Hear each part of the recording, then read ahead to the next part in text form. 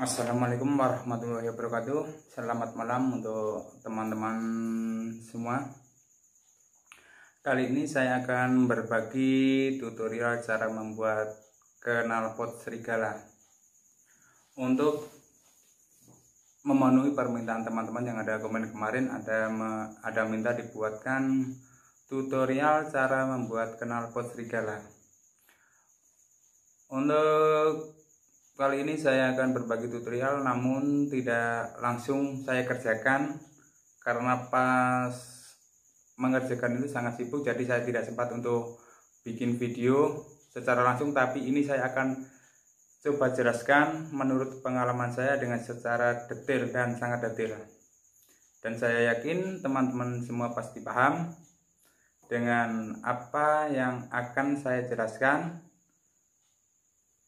walaupun pakai kertas. Tapi pasti paham. Nanti saya juga akan nampilkan foto-foto yang yang saya bikin. Itu cuma saya foto saya tidak ambil video karena waktunya tidak cukup. Itu kerjaan juga cukup padat cukup numpuk ya. Banyak banyak garapan gitu masalahnya. Ya alhamdulillah. Baik kita sekarang langsung saja kita mulai. Oke sekarang kita mulai dari pembuatan mal kerucut dulu. Untuk pembuatan mal kerucut pertama kita bahas untuk pembuatan mal kerucut untuk elf dan gentar atau sejenisnya ada dutro dan yang yang sejenis dan maksudnya yang seimbang cc nya atau apanya gitu. Nah yang pertama sekali kita buat jangka jangka kita tarik dari sini ke sini 5,1 cm terus dari sini ke sini kita ambil 4,3 cm ini untuk mal kerucut bagian atas. Kemudian kita lanjut ke mal kerucut bagian bawah untuk kenter dan ya. Kita ambil dari poros ini dari as ini 4,6 cm. Terus kita ambil dari sini ke sini 4,2 kalau untuk eh, kalau ingin lebih mudah mungkin bisa bisa juga seperti ini. Kita tarik 5,1 terus untuk pembuatan yang ini kita tinggal tambah aja. 51 tambah 4,3 jadi kan 9,4 seret ke sini juga bisa. Seret dari sini ke sini. Seret 9,4 cm terus seret dari sini ke sini 5,1 cm begitu juga dengan mal-mal yang ini kalau yang ini adalah mal kerucut untuk engkel. Untuk mal kerucut engkel kita dari sini ke sini 4,8 cm terus dari sini ke sini 4,5 cm ini untuk mal kerucut atas engkel ya mobil engkel ya truk engkel. Terus ini untuk bagian kerucut bawah di angle kita ambil dari as ini ke sini 4,3 cm terus dari sini ke sini ada 4,8 cm sekarang kita ke mal kerucut L300 ini untuk L300 ini mal kerucut atas. Kita tarik jangka kita dari sini ke sini ada 3,4 cm kemudian dari sini ke sini ada 4,4 cm. Terus untuk kerucut bagian bawah kita ambil dari sini ke sini 3,2 cm. Terus dari sini ke sini 4,4 cm. Untuk pembuatan kerucut saya tidak pernah pakai rumus jadi saya hanya menggunakan jangka karena saya tidak paham dengan rumus-rumus tapi ini dijamin bunyi. Untuk kerucut kita buatnya nanti kalau kita bikin dulu seperti ini ya seperti lingkaran seperti ini dulu. Misal kita mau buat elf ya kita buat seperti ini dulu. Kita buat seperti ini dulu kita taruh dulu jangan kita langsung bikin kerucutnya sekarang eh, bikin apanya pipanya. Nah untuk pipanya untuk pipa kalau kita bikin canter dan elef ukuran diameter pipanya itu saya nggak nggak nggak pakai inci ya. Saya pas ukurnya ini pakai cm jadi ini ada 5,2 cm untuk diameter pipa yang kita gunakan untuk elf dan canter. Nah panjang kita terserah tapi ini saya bikin patokan 7 cm dan yang harus kita perhatikan adalah ini sarangannya sarangannya. Nah sarangannya harus kita masukkan ke dalam pipa sini di dalam pipa sini kita kita masukkan ke sini ya. Ini panjang sarangan saya bikin patokan 7,2 7,2 cm setelah kita buat ini ini jadi ini kita jadikan dulu kita las dulu. Kalau sudah jadi kita baru bikin kerucut bagian bawah nah kerucut bagian bawah kita tinggal bikin seperti ini. Nah kerucut kita nggak usah pikirkan bagiannya sini. Ini mau berapa berapa itu nggak nggak nggak usah kita pikirkan. Yang penting kita fokus ke sini. Nah ke sininya ininya kerucut ya yang bagian kecilnya ya. Untuk yang bagian kecil ini kita harus pas masuk ke dalam sarangan ini. Jadi gini ceritanya gini ya. Kerucut masuk ke dalam sarangan terus sarangan masuk lagi ke dalam pipa. Ini untuk untuk kenter. Nah gitu. Jadi kita nggak usah ukur ini dalamnya berapa. Ini masih ada diameter berapa kita nggak usah. Yang penting kita bikin perutnya kayak gini sudah pasti bunyi. Nah yang penting ini harus masuk pas gini. Pas serp serp ini masuk ya. Kerucut masuk selep ke dalam sarangan sarangannya masuk ke dalam pipa gitu. Begitu juga dengan oh enggak ini hanya untuk untuk canter dan, dan elf yang masuk. Untuk pembuatan canter dan elf kita bikinnya seperti ini. Kerucut masuk ke dalam sarangan. Sarangan masuk ke dalam pipa. Ini untuk elf nah jadi cara bikin kerucut kerucutnya usahakan seperti ini. Usahakan seperti ini ya tunggu. Usahakan seperti ini. Jadi kalau dari samping kita lihat ini seret langsung seret ke sini. Nah jangan langsung lurus ke sini. Karena saya pernah bikin lurus ke sini saya kasih apa 5 mili itu enggak bunyi. Jadi saya yang bunyi itu seperti ini. Ini untuk untuk kerucut ankle ya ankle untuk ankle seperti ini. Nah kita bikin seperti ini dulu. Pipanya untuk ankle saya pakai pipa 4,6 cm panjang sarangan sama 7,2 7,2 cm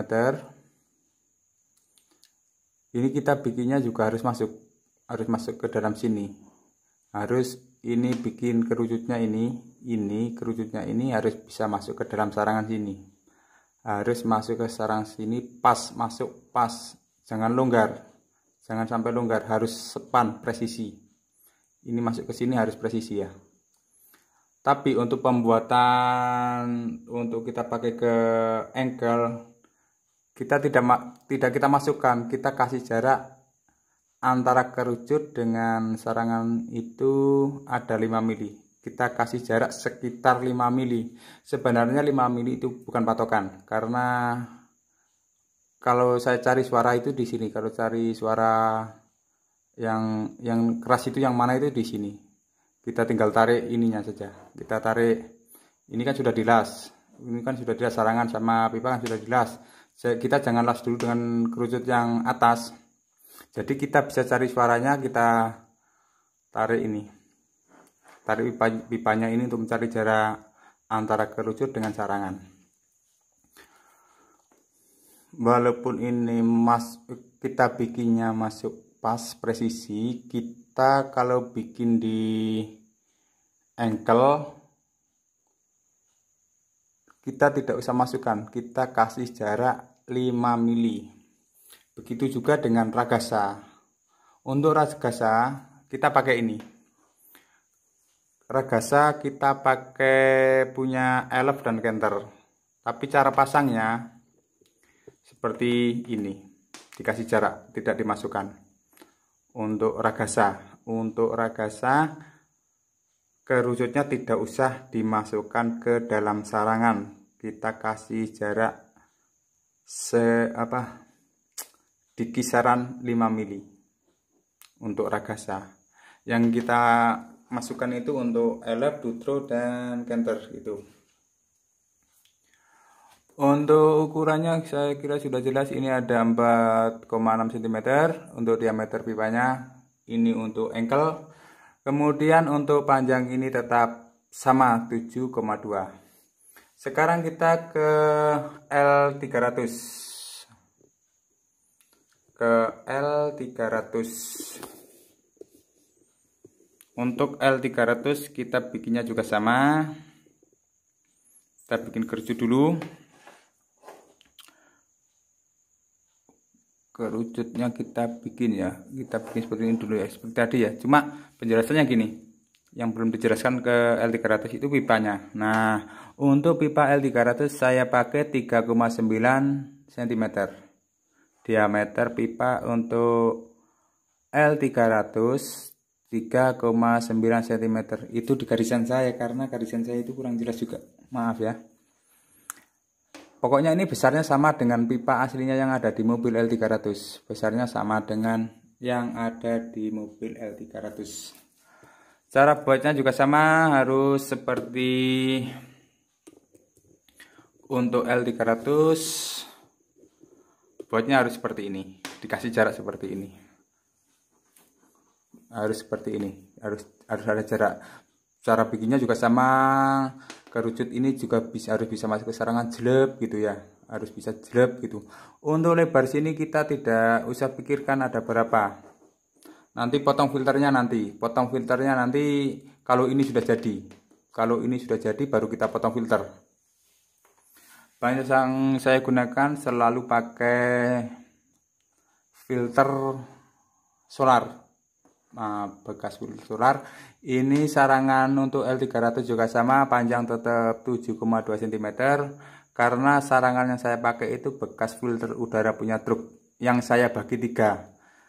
Jadi sarangan itu bekas sarangan di filter udara itu saya potong jadi tiga. Jadi ini yang masuk ke sini sekitar berapa ya? Sekitar satu cm mungkin. Yang masuk ke dalam pipa sini sekitar satu cm jadi saya sisakan ke sini ada 7,2 nah semua itu pasti bunyi. Pasti bunyi. Ini menurut pengalaman saya karena saya kalau bikin nggak pernah bikin yang lain ya untuk bensin belum pernah bikin. Tapi untuk elf canter dutro dina ankle dina double malnya ini ini semua hanya ini hanya ini. Ini khusus untuk engkel. Kalau ini susah bunyi di apa kalau misalnya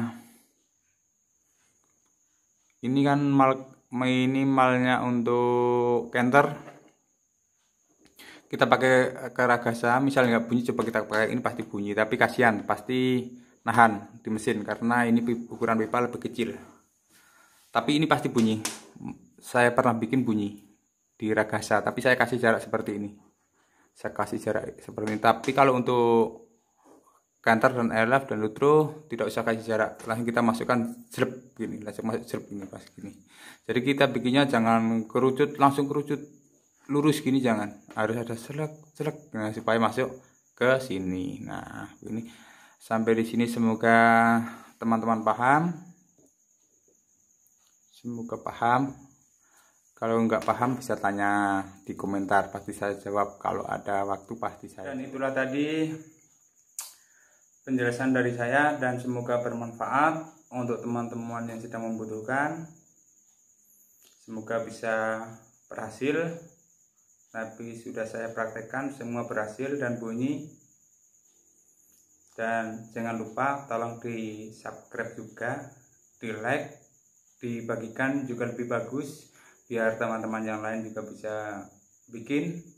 Karena sebenarnya saya juga sangat ingin bikin tutorial berbagi ilmu untuk teman-teman agar semua bisa paham yang sedang mencari pemahaman di YouTube.